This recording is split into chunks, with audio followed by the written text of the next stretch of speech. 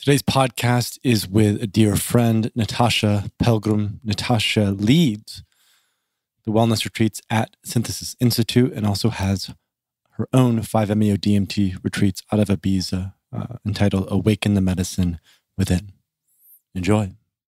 Welcome to the Third Wave Podcast. I'm your host, Paul Austin, here to bring you cutting edge interviews with leading scientists entrepreneurs, and medical professionals who are exploring how we can integrate psychedelics in an intentional and responsible way for both healing and transformation. It is my honor and privilege to bring you these episodes as you get deeper and deeper into why these medicines are so critical to the future of humanity. So let's go and let's see what we can explore and learn together in this incredibly important time. And this podcast is sponsored by MindBloom. Legal psychedelic medicine is here and it's available through MindBloom. MindBloom helps you transform your life with safe, science backed psychedelic therapy. If you're looking for your depression or anxiety breakthrough, MindBloom provides a fully guided and clinician monitored experience tailored just for you. Some clients see results as soon as 24 hours after their first session. MindBloom is, in fact, our first official partner here at Third Wave and a company and organization that we support. In fact, I'm going to start my own MindBloom experience in the coming weeks and will write about my experience going through ketamine therapy to address both cannabis addiction and general anxiety. The cannabis was to cover up the anxiety, and I can't wait to share my own transformation with you. So, Third Wave Podcast listeners, you get $50 off your experience today if you use the promo code Third Wave is here. Reach your full potential at mindbloom.co. This episode of the podcast is brought to you by Apollo Neuro, the first scientifically validated wearable that actively improves your body's resilience to stress. I received my own Apollo Neuro at the beginning of COVID in March, and it saved my life. It was incredible to wear this little device on my ankle that helped me to regulate and stay in a parasympathetic mode. It was unbelievable. In fact, I wrote up a review on Third Wave about how Apollo is like a microdose on your wrist. It was developed by a friend of Third Wave, Dr. Dave Rabin, medical doctor and PhD, a neuroscientist and board certified psychiatrist who has been studying the impact of chronic stress in humans for nearly 15 years. He is a pioneer in alternative mental health treatments and an active practitioner in psychedelic assisted psychotherapy. You see, stress triggers the sympathetic fight or flight response of our nervous system, and Apollo activates your parasympathetic rest and digest response to help you bounce back from stress more quickly. It works by engaging with your sense of touch, delivering gentle, soothing vibrations that signal safety to the brain. It's been tested in multiple clinical trials and is proven to improve heart rate variability, the key biometric of stress. Apollo doesn't track your health, it actively improves your health and is safe and effective for adults and children alike. All you need to do to get 15% off your Apollo Neuro device is go to apolloneuro.com backslash third wave. That is apolloneuro.com slash third wave. And you can get your Apollo Neuro device for 15% off, special for third wave listeners. Hey, listeners, and welcome back to the Third Wave Podcast. I'm your host, Paul Austin. And today I have a dear friend on the show, Natasja Pelgrom. Natasja and I met through Synthesis back in mid 2018. She had reached out early 2018 and we met for coffee and then, you know, had expressed interest in what we were up to. And we ended up bringing her in for the second cohort of synthesis retreats in July 2018. And then from there on out, she's been an integral part of the team at Synthesis. And Natasja also in addition to leading the wellness retreats at Synthesis, uh, leads her own retreats in Ibiza through a program, Awaken the Medicine Within, where she uses 5-MeO uh, DMT for those retreats.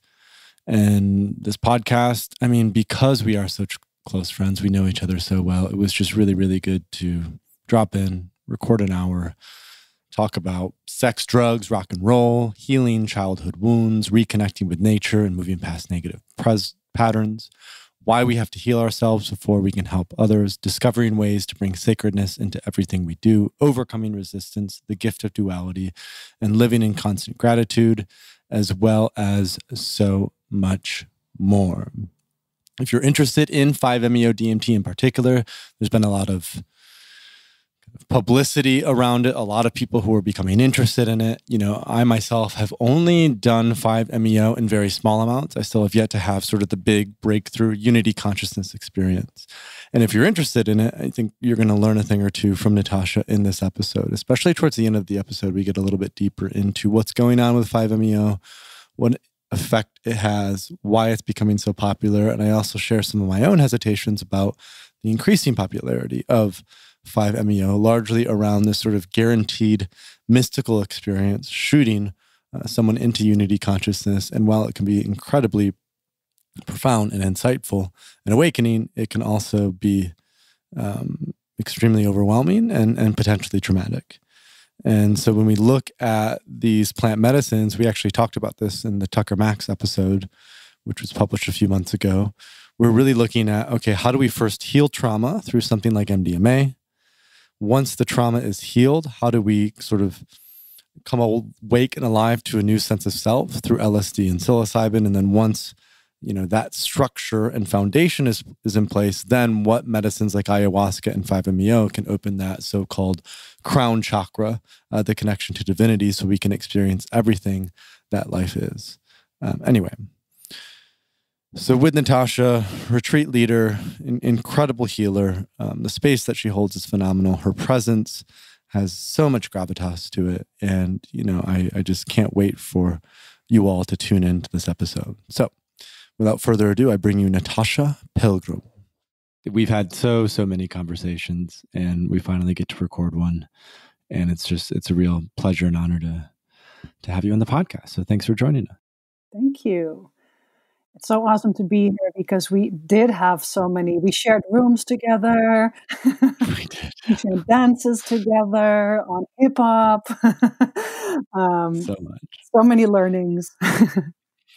And and experiences together. You know, I mean, when we brought you in for synthesis, that was mid 2018, and and we hosted a couple retreats together uh, the ones that were at that one, I don't remember the name of it, but it was a super cool modern spot. And then we found the lighthouse where Synthesis hosted all of its retreats in 2019 and the beginning of 2020. And I had the opportunity to um, sit in that experience, and, and you and Don held space, and you did such a phenomenal job. So you're one of the very few people who um, I've had a guided experience with, you know, with, with psilocybin and, and the space that you hold is phenomenal and, and your energy is so goddessy and feminine and big and, and so loving and, and so open and, um, and yeah, so I just want to love on you for, um, I could just love on you this whole podcast. It would, it would be, would be well worth it. So, yeah exactly. Well, let's, you know, so the audience has a little bit of context. Let's start with you and who you are. And um, maybe about a year ago, you had posted something, or less than a year ago, on Facebook about your journey into coming into consciousness and, and awakening, and how, you know, your background before that was running nightclubs in Amsterdam, and, you know, and then there was a shift, there was a transition. So I'd love to just hear a little bit about who Natasja was before she was hosting ceremonies and space and, and all this stuff. What what what was the the pre awakened Natasja, if you will? Yeah. Where does that start? Um, first of all, thank you so much for you and the work that you do and the team behind you and around you for facilitating so much knowledge in the world. Um, so, with the third wave is an important, important, very important platform for many. My journey before sitting in ceremony um, is indeed, I always say, you know, uh, rock and roll, sex, drugs, and rock and roll, and, and you get the picture. That's a space of we recognize um, of transition. But, you know, I, it began as a child growing up, um, very sensitive, extra sensory, um, and not fully understanding what this sensitivity me- meant um, and growing up with a family member with an opioid addiction and the complexities around uh, being dependent for your safety on someone that cannot keep themselves safe, right? So, um, and those two combined have always been a big fuel for me to uh, discover and wanting to understand our human needs, our um, what makes us tick what is it that some are wounded in some way and get um, into addiction and some have other wounds and flourish from it you know see it as a growth doesn't mean they don't have challenges so those questions already came in at a very young age uh, so exploring consciousness and exploring healing fields have always been my first psychedelic experience was when I was 15 on mushrooms in Amsterdam. I grew up in Amsterdam and in Portugal and in Spain, but in Amsterdam, um, very recreational. I, back in the days, uh, I'm 41 right now, we had CD shops. So, for those of the generation who do not know what CD shops are, it's where you could purchase music and it wasn't for free. um, and we had taken mushrooms and, and uh, we went into the shop and um, um, seeing seeing the music in color and, and shapes was a revelation to me because as a child I had experienced kind of visions without um, plant medicines, and um, so there was a, a, laughter and a aha. But only um, recently, the biggest gift of that journey I discovered only a few years ago. So this was 15 i'm 41 count it you know like so that sometimes it takes a long time before recognizing that and because i've always been so interested in people in ecstatic states drugs was never you know like mdma was my favorite party drug ever um, at a certain point uh, wasn't just mdma i got really a lot into alcohol and cocaine uh, as in the party scene and um, had indeed a bar and a nightclub and a restaurant and a, and a um, fashion designer, clothing store. I was all in one building. And um, at a certain point, I remember standing on my bar with a bottle of champagne in one hand and a bottle of vodka in another hand, uh, being super popular and praised. And I've got a flash of holy shit, I'm 30. By the time that was 33, I'm 33. Do I want to stand like this when I hit 40? And it just hit me. I was like, I think I discovered everything I needed to discover from my ego perspective of what I thought success was. Because in the end of the day, I put myself at the age of 29 in a very male dominated um, environment in the hospitality and, and, and events industry as a very young woman. And in the end of the day, what I wanted was recognition and the love of my father. you know, so I put myself a lot into an environment with older men and um, and business. And when that hit me, that specific moment hit me, I was like, I need to get out of here. This is not who I am. I cannot be under the influence um, in, a, in a club and look at somebody say, "Hey, your chakras are not really aligned. You have an entity on your back. Shall I help you?" While I'm five minutes before, I just snorted a you know stuff in my nose. Like what the shit, right? Like, um, so um, when I had that big epiphany of, of mul- there were multiple things that came in. I mean, I wasn't, you know, in a great relationship. I was losing friendships. Uh, my priorities were not in in integrity and in, in service. So um, I basically really just sat down. I called up uh, two very famous Dutch um, investors and I said, uh, Who wants it? First bid, I'm out. And within six months, I gave in the keys and walked away. And um, yeah, that's that's the start of the process. And this was in 2013, and that's actually the beginning of me choosing a healthier lifestyle, which then went back into um, the healing possibility of plants instead of the recreation and the and the submission or the you know walking away of seeing seeing shadow. Yeah it's a very individual journey, right? Like we all have the, the the, wounds that we grew up with and the things that result from that, the professions that we pursue, the the dreams that that come from from ego, so to say, the especially the what you said with the male dominated part of that. And it feels like then a huge part of your personal journey has been okay, I did this thing right? Alcohol, cocaine, hospitality industry, very male dominated. And I'm sure even in that thing, you were very, you, you had a really strong feminine energy and presence, but it was likely conflicted because you felt like a fragment of yourself was off here, but uh, another fragment of yourself really just wanted to be much more nurturing and compassionate and loving and and kind. So I, would love if you could just bring us a little bit deeper into that because I feel like when we first connected two and a half years ago and I looked on your personal website, that is the thing that stuck out to me was the feminine essence, the sort of goddess archetype, the the the the the, the beauty, the the nurturing, the compassion, the love. Um, how how has that evolved for you over these last you know seven eight years after you left the hospitality industry? What what does it mean for you to be a, a woman and and like really you know integrating and, and becoming coherent in that yeah beautiful question. It's it's you know it's still an unfolding because every life stage brings a new um, a medicine in it and a new cycle. Um, yes the, the qualities have always been there. Even you know uh, I, I would op- I would do smudging and praying before I would open the club. You know, like those practices and the things that I do today, it wasn't like from one day or another. At 21, I was already Reiki master. You know, I went to a lot of Buddhist retreats and Vipassana, um, a lot of uh, quantum physics practices and teachers. So it's always been a part of that I developed. The um, that space of the harshness of business uh, was killing the part of me, um, and and also the um, you know the the cash flow industry and people under the influence and people you know um, you cannot trust everybody. And that those parts that really really hurt in my heart.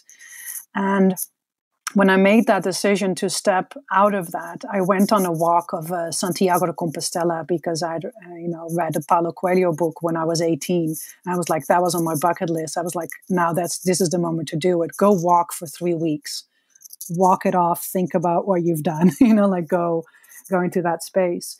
And being back in, in nature, in that nature space, and literally going to the toilet in nature, you know, like having all your needs there and that connection back. Remembered are my innate ability as a woman.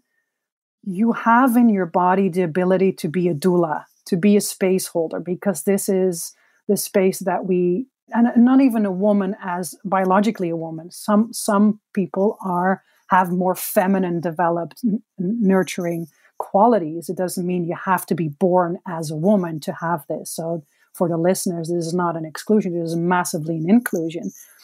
Um, but the, that that ability to really hold that it, be, it started growing again in this nature walk, in this rite of passage, and I felt that uh, passing each old tree, I would see it as an elder teaching me something new.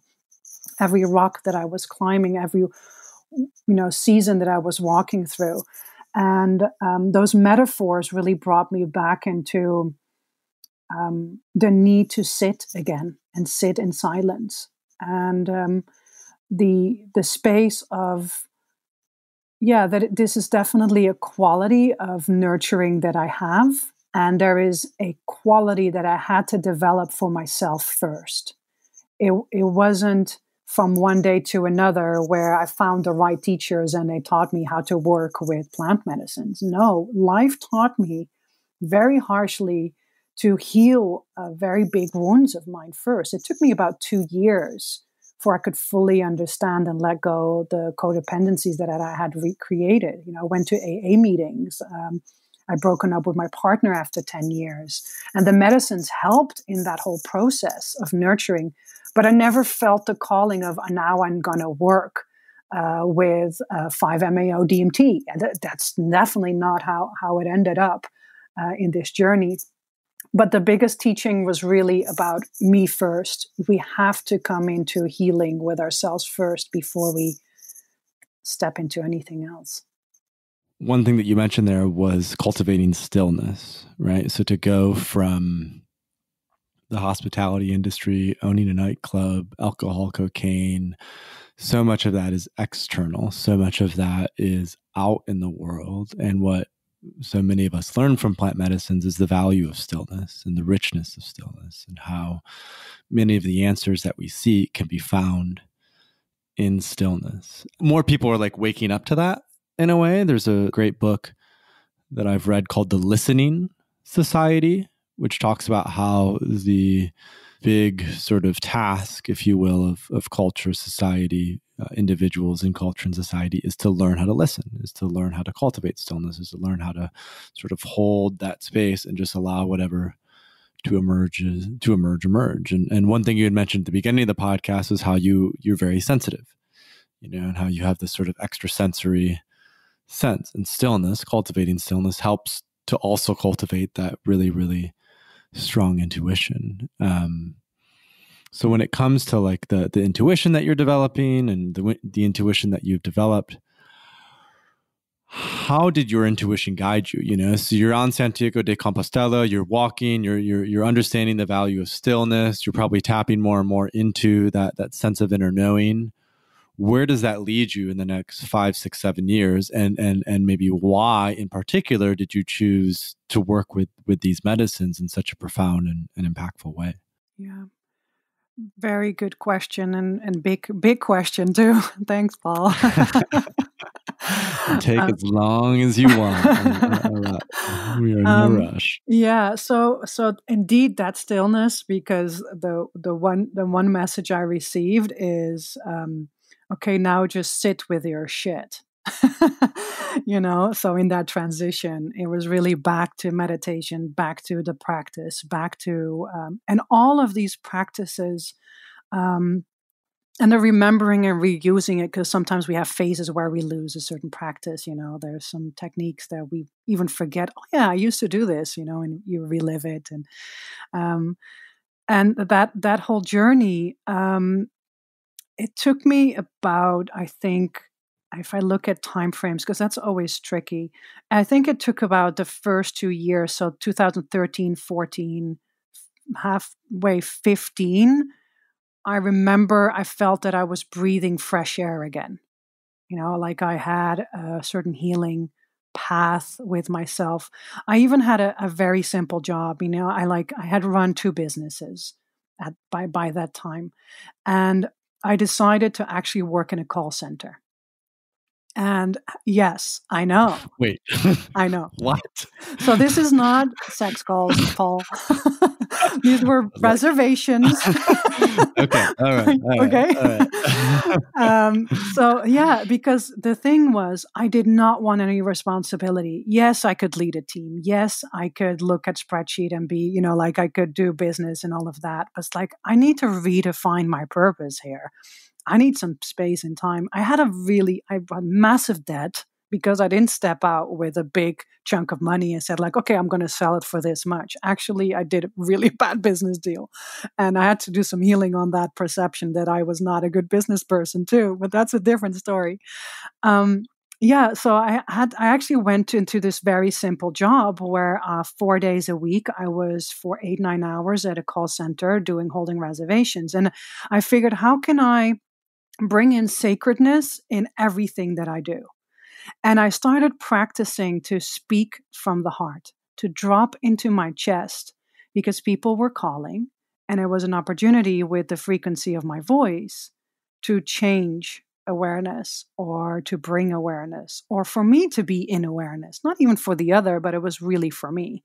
So, how could I bring from sitting in practice to a very mundane activity and day to day activity, which was survival mode, um, and bring that sacredness in. And I would never forget colleagues at that time. I would walk into that office, and at a certain point, after a few months, people would say, like, what do you do? You always come in so gracefully and and silent and, and i was like really oh i feel like shit because i would wake up be crying be on my bike to the office wipe it off, do my thing, and go crying and go to bed. you know, like I was like, oh, it's somewhere. It's you're radiating something. Um, but internally, I had to do a lot of healing. And um, but then fast forward uh, very quickly, you know, I've always been in a trainer. I've always been a coach. I've always educated myself in that way. And it went very gradually and organically. I started coaching people and I started to practice. I started organizing meditation circles in my living room until it got too big. So I had to rent a place and uh, developed a workshop program of one day, and then it became three days. And and as I was doing all of this, um, uh, I rediscovered plant medicines in a in a different in a different way, and um, my first journey back into uh, the healing of it instead of recreational uh, space of it was with ayahuasca. That was a very profound experience. I didn't receive a message, you're going to work with us, you know, like at all. No, it was a very profound message of letting go and forgiving myself mostly more than anything. And then I had a, a partner at a time who had done 5-MeO with a beautiful female facilitator. And he said, Natasja, this is for you. And I was like, hell no. This I started reading the third wave on the explanation of what 5-MeO was. I was like, hell no, that's not for me. I'm I'm all you know, like I was saying, I'm all about gentleness. I believe in the invitation and the and the body, the innate uh, ability to heal itself when you create the right conditions. This is this is not for me. And I started saying no, no, no until my nose became um, very um, um, very resistant. You know, you have no's that you know are intuitive, are more silent. And you have no's where there is resistance. And I went like, hmm, if it's one thing I've learned from transformation, it's when this kind of resistance shows up, shit, I have to do it now. You know, like I have to I have to visit this invitation that has been sent to me now multiple times. I found a beautiful uh, healer uh, with the medicines that had cured him, uh, that was cured through uh, an opioid addiction through 5-MeO.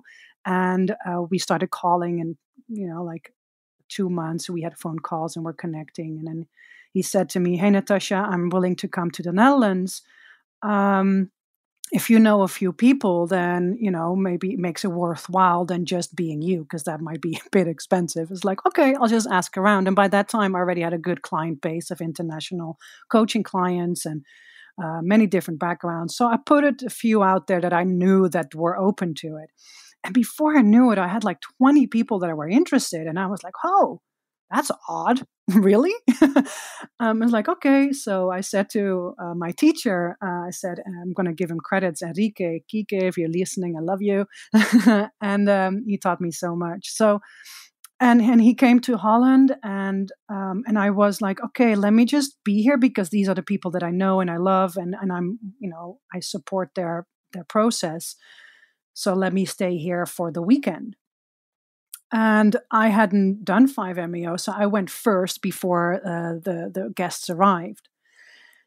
And I remember him giving me um, the toad at the time we we worked with the toad, and I can go a bit into um, the toad and synthetic 5-MeO. But um, at the time we worked with the with the toad, and I received it, and I was present. I was there, and I remember yelling out loud, I think MDMA is more for me.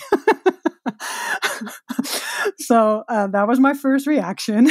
and then he went like, okay, maybe you need a little a bit little of resistance. A little, little resistance, resistance, there. exactly. Yeah. Um, then he went like, I think you need a higher dose. You want to go again? It's like, yeah, that's fine. Let's go again.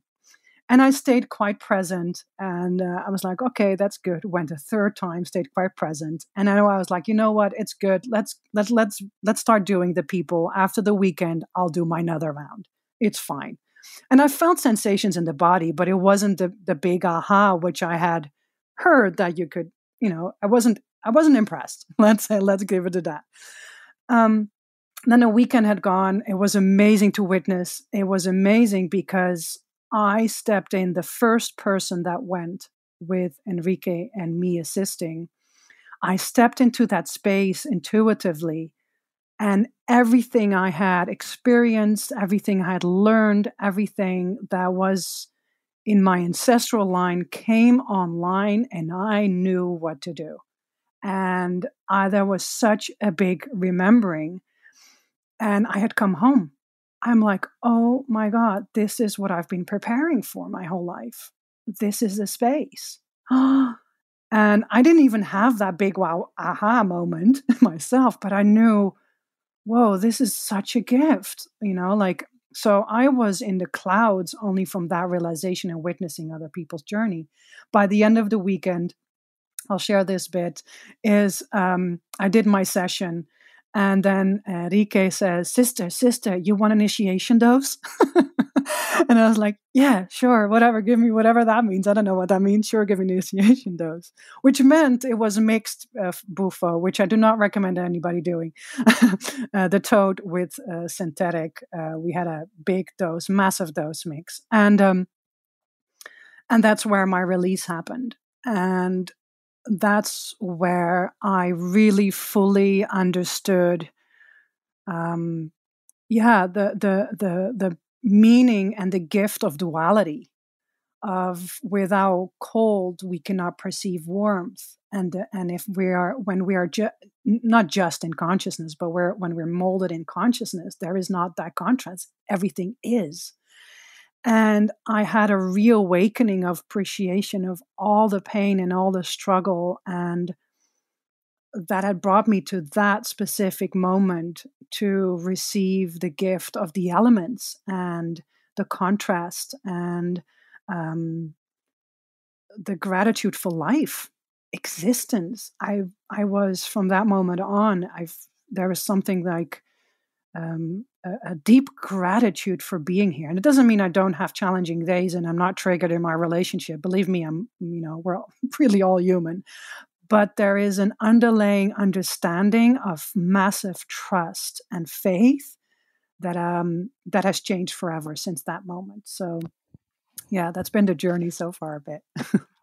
I did some psychedelics last night. I'm not going to say what, and I'm not going to say where because that, that a little dicey. But I was with I was with probably one of my closest male mentors, who I've also had on the podcast before, and he had um, he used to play with the Santo Daime for many, many, many years with the, the, the, the, two founders out in Oregon and was the guitar player and sat in hundreds of ceremonies. And we were talking about this last night. And he's like, yeah, like when you're in it, like w- when you're in ayahuasca and you're like purging and you're, you know, there's all this sort of disgusting stuff coming up and you're like really, really in it. When you've done this sort of work enough, you kind of have that 10% awareness on I'm in it, but I'm not like you can kind of look like like you can kind of look up and wink across the room or you kind of look up and smile a little bit and then just go back into like the pain and the grief and whatever the suffering is mm. and it feels like a 5meo experience or any sort of mystical experience that we have with psychedelics it's that like nice 10% of trust and faith when even things like covid happen or even triggers come up in a relationship or we're sort of in the midst of a, a difficult kind of work whatever and we're stressed there's that 10% of knowing uh, this, this, this will pass too.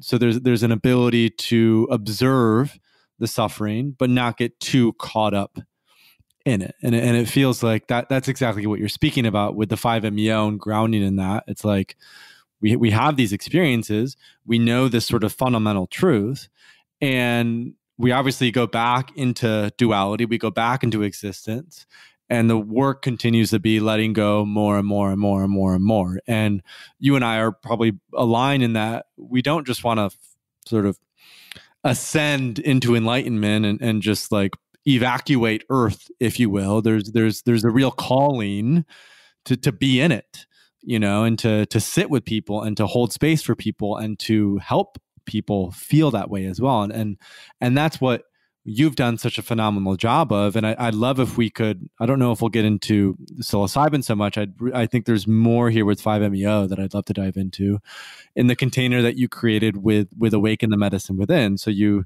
you meet with Kike, you have this initiation dose, you let go, you release. There's trust and there's faith, and you know these the sort of unity consciousness where does then your own sort of retreats come into play? And and and more specifically what container did you choose to create with those retreats so that people could have this beautiful experience with the toad or synthetic uh, you know with five in general? What i love about what you just said is the fact that you know it's it's really not about going anywhere else, but accepting where we are right now. So I just want to pinpoint that a lot of the times clients, you know, I've had been able to hold, I, will answer your question, but it just triggered a thought, and I've been able to hold um, uh, space for clients, and one is I really want to honor um, because recently I received some news as a gentleman.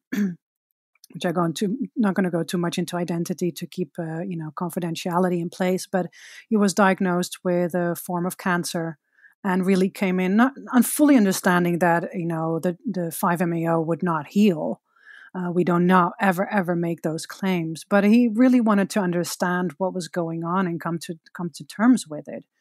And he, these were not really his words and come to terms with death, but uh, he wanted to understand what he needed to heal, how to grab most out of life. And although, um, so he, he came to me, we did a private session with him and his partner and the the there was a part of him that didn't want to be in in his suffering you know which if you're diagnosed with cancer of course you don't want to be there but even the medicines there invited him to be with it to sit with it and to give him a really hard teaching um, of of his own pain and his massive fear of death um, and that was intense as a space holder to to um, witness. And I I always stress that um, as a space holder, you know, you're really there to create a container of safety in all dimensions of the human being, in, in holistic as possible.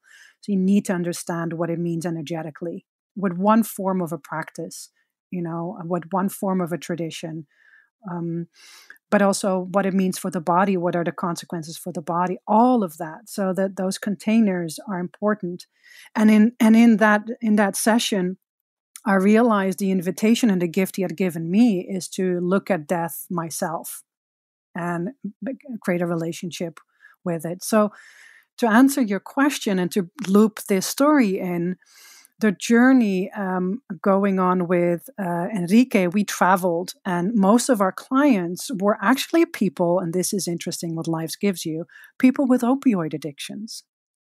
So I got trained with him with heroin, cocaine, alcohol, um, cigarettes, um, a lot of meals. So one meal after another, I saw the projection of, you know, my my relationships, my uh, upbringing, my I was he- another way of healing, and they were giving me as much healing because it's a, it's almost like a communion. The facilitator and the person that goes on a journey, you're making a little contract for an X amount of time, where you both say, okay, we're willing to go as deep as possible, and I'm there to help you invite to go even deeper than what you think you can do but I need to have that trust and that faith and that ability to invite you to go into that space in the first place. So when and on this path, and then after a few years, I started receiving uh, people that messages from, "Hey, I hear you work with this." I was like, "Oh, Enrique is not around right now. You know, can do it another time." It's like, "No, I want to do it with you." And again, I'm stubborn and resistant, and I said no and no and no until I said to Enrique, Yeah, what do you think? People, do you think I'm ready? I don't think I'm ready. Who am I to do that? And I literally said this, and he was like, Hell no, you're all, you know, go for it. You know, like he really supported my growth and supported and trusted the medicine. He really showed me how it is to trust the medicine. And when people ring at your door to ask you for it, literally, that's like, he's like, Spirit's telling you, you know, like, listen, do, do, do what you're meant to be doing here. Um, and we've supported each other since since then uh, always. So this is how how that started. And then one of the things that I was missing a lot in this space, and this is not to uh, say anything better or worse about anybody, is what I was missing at a time, and this is about four years ago. In, the word integration is now very much up in the air, but about four years ago, it really wasn't you know, the word integration was like, yeah, we heard of it. Probably Maps had some info about it, but it wasn't, you didn't have massive integration circles out. And so, one of the things I started focusing on is because I came from a coaching background and understood about values and limiting belief work, and uh, with neurolinguistic programming, how to work through these modality, these things with different modalities. I started implementing preparations and integrations. So I started creating a package that it wasn't about a one second fix of coming half a day with a 5 MEO session and then going out. No, it was a full thing. And people didn't understand. I really had to explain the why because there were so many other facilitators that weren't doing it. So people think, oh, you just want to earn more money. And, you know, like, uh, hell no, you know, like that was, that's never been, you know, the, the case.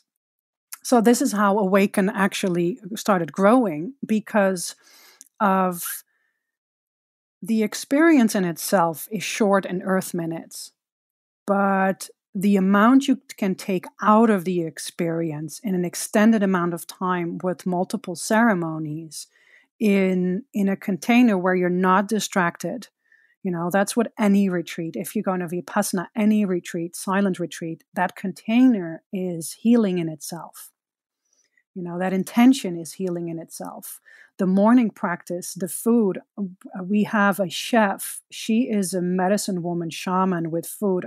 Like i'm not exaggerating. She heals people through food. So all of those elements i started seeing the importance of it instead of doing this one day quick fix experience and i started shifting that because I saw the safety it gives to people in terms of how much you can grab out of it and how much learnings you can grab out in that reflection uh, space. And there is another thing we are live in a society where everything is on demand and everything is quick.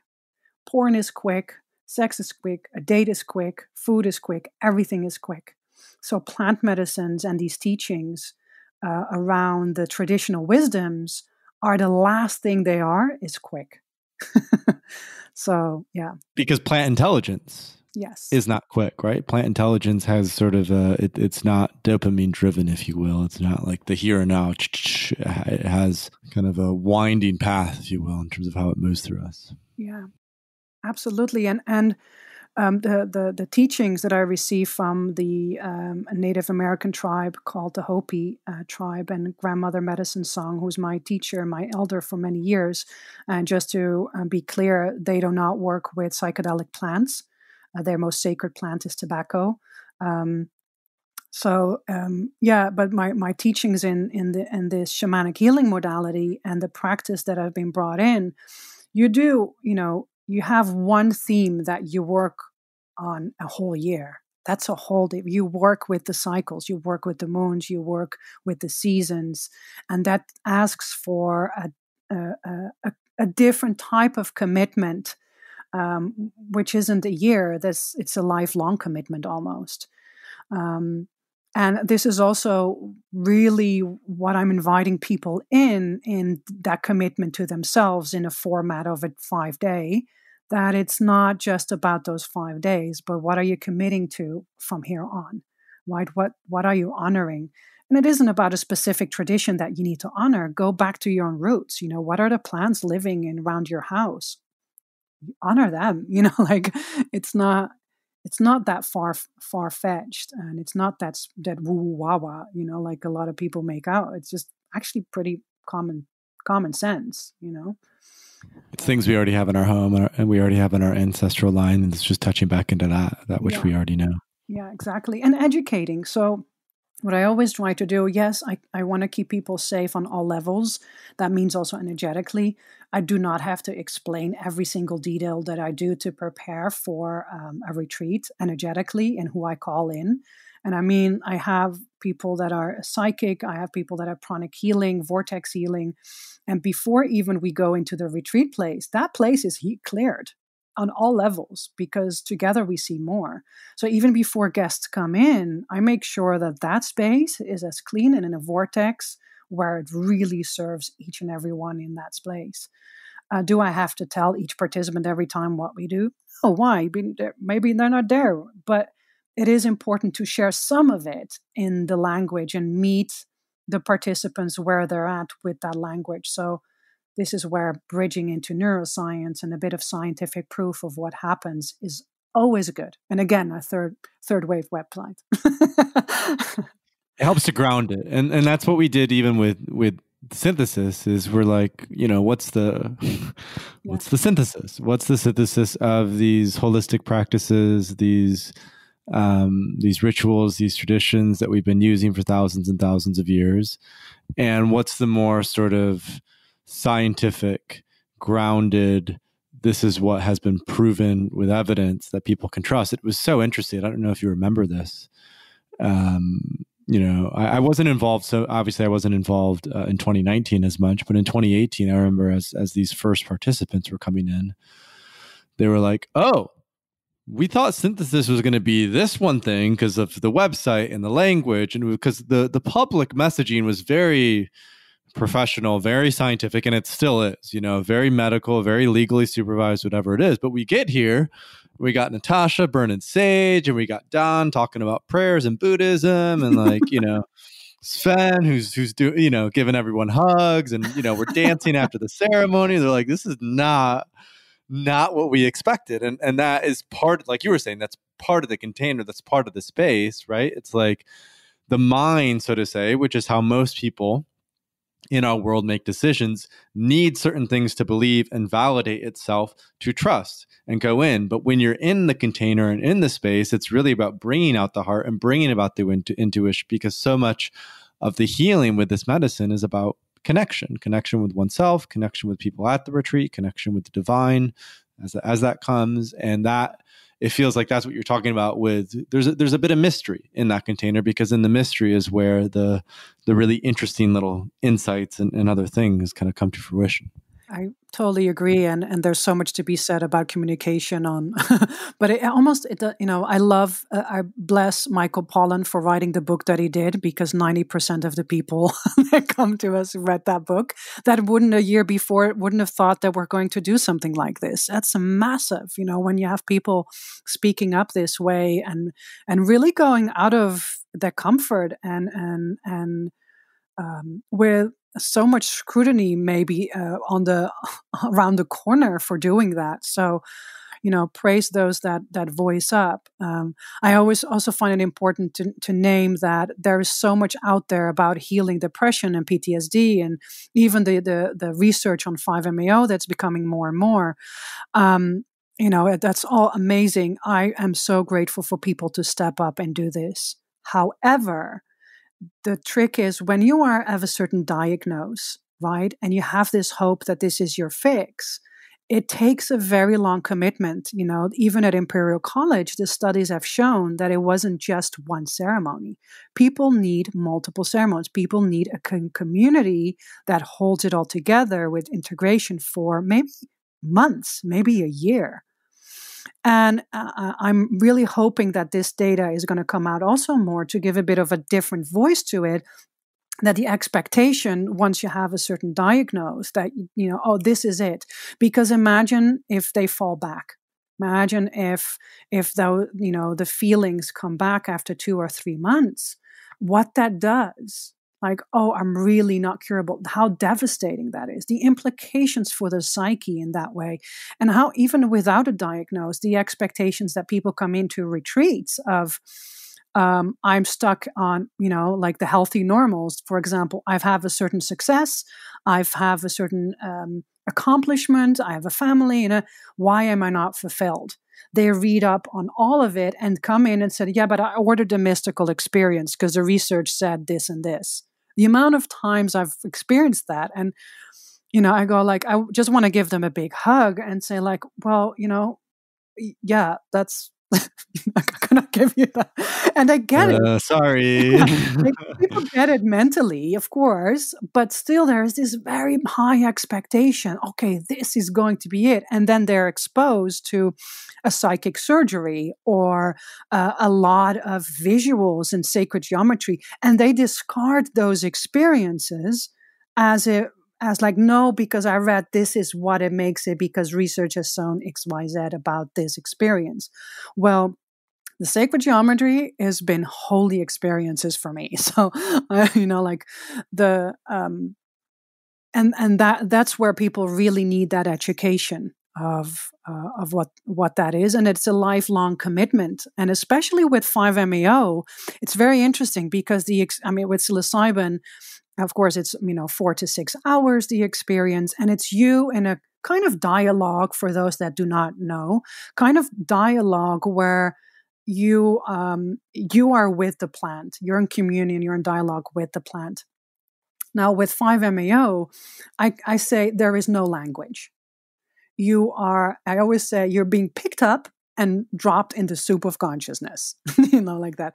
And then, you know, like in Earth minutes, it can take 20 minutes. On average, what I've seen in my own experience is about 40 minutes, but that's mostly because there aren't a lot of people, people can really stay in silence. I don't have really, a song is only there if it serves a healing, but after the integration, I'm very focused or on, on um, Tibetan bowls or just silenced most of the time is actually more silence. Um, so yeah, so this this healing space and and yeah, coming into to the to the practices in in this way and fully understanding that five MEO brings you into that that quickly. And then what happens is afterwards, right? So um, I always I gave the analogy of um, I think it's in English accordion, the instrument, right, where you stretch out and it brings it all together. So imagine you're an accordion. You're all about frequency and vibration, and those those uh, uh, curves of the accordion where the where the different sounds are being made. That's the experiences of your life, the challenges, the gifts, all of that. Now, 5MEO, for example, stretches that accordion out right? In one go, it makes one sound like that. So imagine that. Now, in the three, six months to a year, the accordion will come back together and then be folded out, and there's new folds. And that's the experience with the difference between the integration process with 5MEO and the understanding of the gifts. That's why it's so important to have contemplative practices before to really have that self awareness to go deeper in inside because it really happens afterwards. I have clients that come back not because they have to, or I created a program that they have to, but they're clients that come back after a year and then they go like, I only now understand. Or even in my own experience, after three months, more or less, I had a few triggers coming up within relationships where I went like I thought I worked around this, but apparently I didn't. And and it just had to work a little bit deeper and my awareness shifted, my intuition shifted in a deeper way, in a deeper knowing where I was like, "Oh, this was the medicine."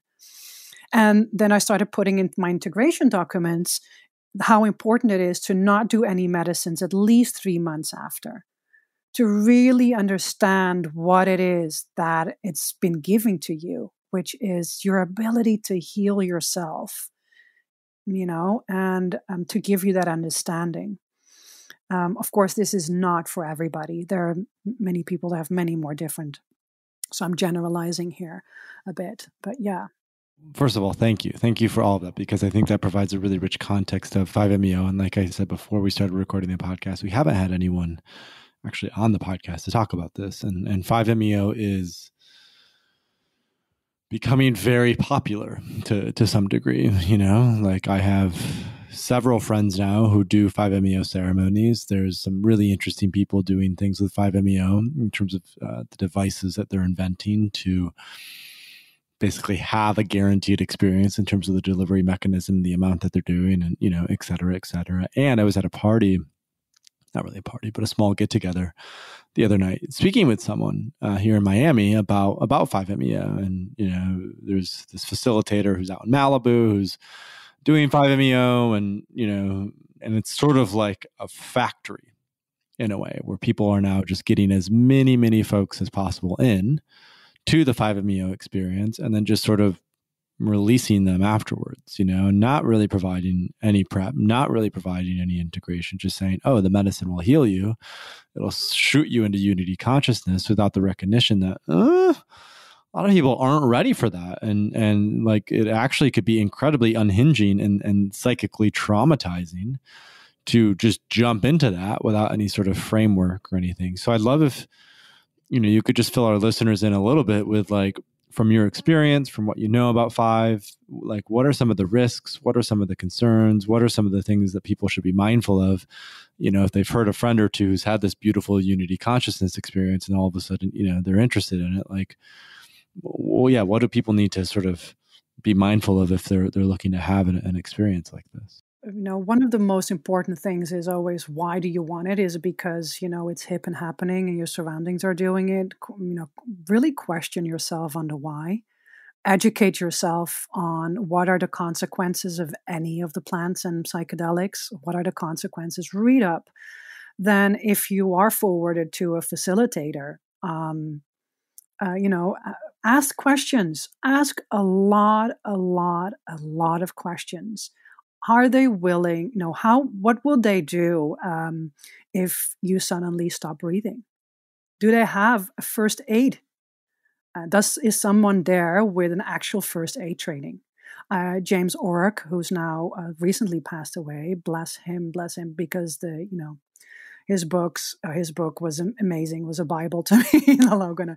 so it's so important and one of the things that i want to give him credit for and really taught me a lot was like as a facilitator your best thing you would be is actually a nurse you know, get all the paraphernalia out of the way, all of the so called shamanistic tools, uh, and whatever you think should be done, and educate yourself. And be, be a nurse would be the best thing with five and uh, you know there is a part of me that fully agrees and there's a part of me that understands uh, you know certain shamanic tools and what it is to fully you know work with people with soul loss and and cord cutting and entities and all you know like that whole shebang and what what that is and also that importance and what that influences our psyche as much as the therapeutic background and this is why i love the therapeutic background to come in is the oath they take is do no harm and this is where facilitators are um, you know, um, can can buy, purchase the medicine online. You know, it should be accessible. It shouldn't be the chosen few, but there isn't a container where people are educated or they can go to to learn how to work with it. And there are even people out there now that have worked with it are educating others without that container. And so the the you know there is mo- the most the biggest risk is um, um, of course, if you have in your family um, schizophrenia or any diagnosis of, you know, bipolar is a very big risk. But also, um, uh, depression can be a risk. Are you willing to um, to maybe have a fallback, and how do you hold yourself in that? Are you taking any form of medications, um, antidepressants, um, SSRIs, etc., but also the heart cardiovascular. That's very, very important. Um, and then there is a difference between 5-MeO synthetic and, and the toad. And um, synthetic is a lot cleaner and a lot, you know, lesser risk for the body. I have to be honest. You know, there is um, there is some say that uh, there is a difference between uh, because of the toad has bufotenin in there and other compounds, which is also a psychoactive and synthetic is you know very just synthetic 5-meo and 5 you know like i don't know if there is a difference. That's i have to be honest. I really don't because i thought i knew. I've walked around for years saying there was. So I also had to learn. And then I realized being in that space myself multiple times that I had an aha moment where I'm like, who's to say that I think if something is organic is better? I mean, the whole term, the God molecule, is something, everything is a God molecule. Why, n- hello? everything is a God molecule, right? So if everything is part of life, then a synthetic is also part of life. So, you know, I went like that deep philosophical. So I'm, I'm, I don't have an answer, but um, I'm seeing less and less of people having massive differences in experience. Um, and I only work with synthetic right now because of the toads and and the way, um, yeah, the secretion and and things that are happening right now there that I don't want to dive too deep into because there's also confidentiality in there. But yeah, yeah, it's not it's not it's not pretty and it's not sustainable. Mm. Mm. Mm. And so better to to go with the synthetic, and and that's where more and more people are gearing. In fact, um, USONA, who hopefully our listeners are familiar with, a nonprofit based out of Wisconsin, they and and I'll just quick mention about Synthesis. Synthesis is rolling out this practitioner training that USONA is partnering with, yes. which is phenomenal. And USONA just published the synthesis for 5-MeO DMT. Uh, I think that came out last week or a couple weeks ago. And so they've now made that publicly available. And that's what I love so much about the nonprofits in the psychedelic space, especially Usona. It was so funny when, when Compass Pathways went public back in September, the very same day that Compass Pathways went public, Usona published the public synthesis for psilocybin, which is phenomenal. And then yeah. 5-MeO DMT, same thing. So synthesis, natural. I have friends, you know, I have a friend who goes down to the desert every year and has a relationship in the Sonoran Desert and, and collects, you know, toad secretions for his clients. Most of the people that I know work with synthetic. I personally have only had a very sort of baby experience with 5-MeO. I would call it a little bit more than a microdose, but definitely not the full thing. And I've sort of been waiting to sit with Natasja.